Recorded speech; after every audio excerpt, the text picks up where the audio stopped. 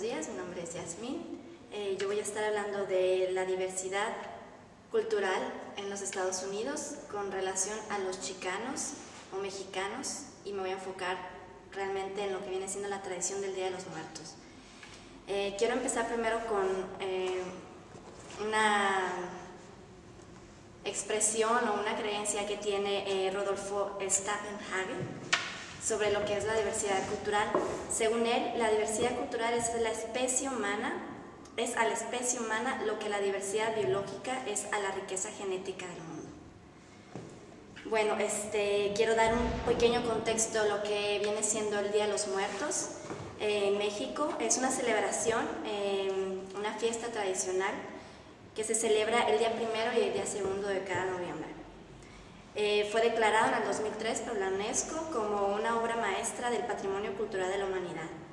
Esta festividad, que representa uno de los ejemplos más relevantes del patrimonio vivo en México y del mundo, así como una de las expresiones culturales más antiguas y de mayor plenitud de los grupos indígenas que actualmente habitan en nuestro país, o sea, México. Así, la festividad del Día de los Muertos es uno de los eventos más esperados del año en la comunidad multicultural de la tan colorida ciudad de Los Ángeles, California, en Estados Unidos. No solo por la tan famosa los famosos novenarios de la procesión y las maravillosos altares construidos para la ocasión, sino porque se presentan actividades de donde las diversas comunidades se unen para participar en la elaboración de piñatas, talleres para niños, pintacaritas con motivos del Día de los Muertos y las bandas de mariachis tocando por las calles y a eso se le incluye también lo que viene siendo el ballet folclórico. Me quiero eh, enfocar en esta fiesta para dar mi punto de vista a lo que yo considero la diversidad cultural y la pongo entre comillas porque realmente qué es diversidad cultural. Por ejemplo, en California, si nos vamos más a la historia, eh, era territorio mexicano. Y si nos vamos un poquito más atrás, había una comunidad indígena llamada los... ¿Dónde lo tengo? Los Tongva, que era una tribu más antigua, la más antigua que se conoce de California. Entonces, en 1781, el rey Carlos III le manda a decir al que fue el gobernador de las Californias, Felipe de Neve, que mandara a 44 familias mexicanas a habitar esta área de, California, de Los Ángeles. Entonces, si lo vemos de esa manera, estamos pensando que primero había tribus, se desplazaron, se colocaron familias mexicanas, después ese territorio pasa a ser parte del territorio de Estados Unidos, pero lo curioso aquí es que en Estados Unidos se considera que ellos son los migrantes cuando los mexicanos siempre han estado ahí. Entonces, me parece curioso cómo eh, la ciudad de Los Ángeles promueve esta fiesta cada año como un evento fabuloso, maravilloso y colorido de la diversidad cultural.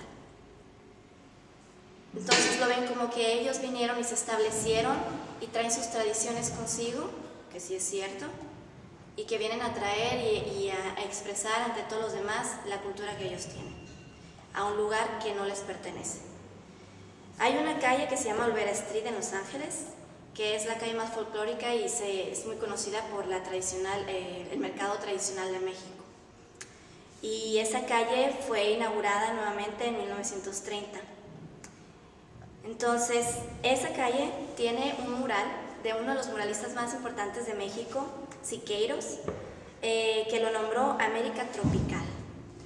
Ese mural creó bastante controversia ante las otras comunidades blancas, digámoslo así, y eh, el gobierno mandó a despintar el mural. Lo que hicieron fue pintarlo con pintura blanca. Pero con los años, el agua y el tiempo, el clima, poco a poco se fue deslavando esa pintura blanca y van brotando los colores del mural.